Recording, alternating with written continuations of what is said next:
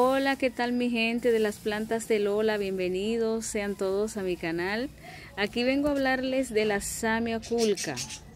Esa es la Samia, la ZZ, la planta que tiene gran variedad.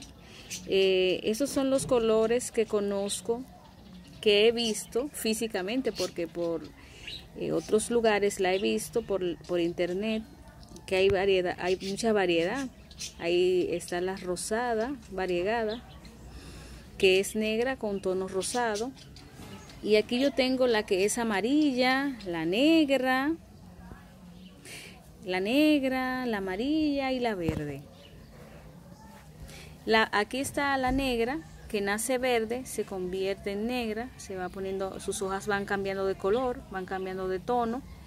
También está la verde que se queda verde, pero también está la amarilla que nacen sus hojas verdes y luego van tornando en amarillo.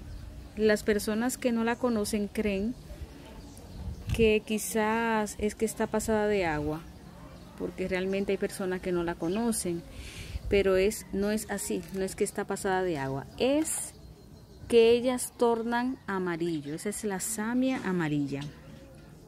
Miren, es muy linda. Imagínensela usted en un mismo tarro de negra con amarillo. Precioso. Mírenla ahí. Esos dos tonos juntos, ¿eh? Miren, miren qué combinación más linda en un tarro. Yo me hago la imaginación de una vez.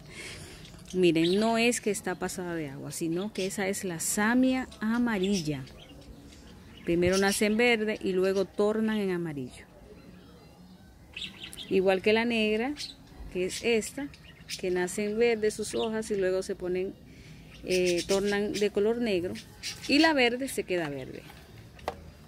Miren esta negra.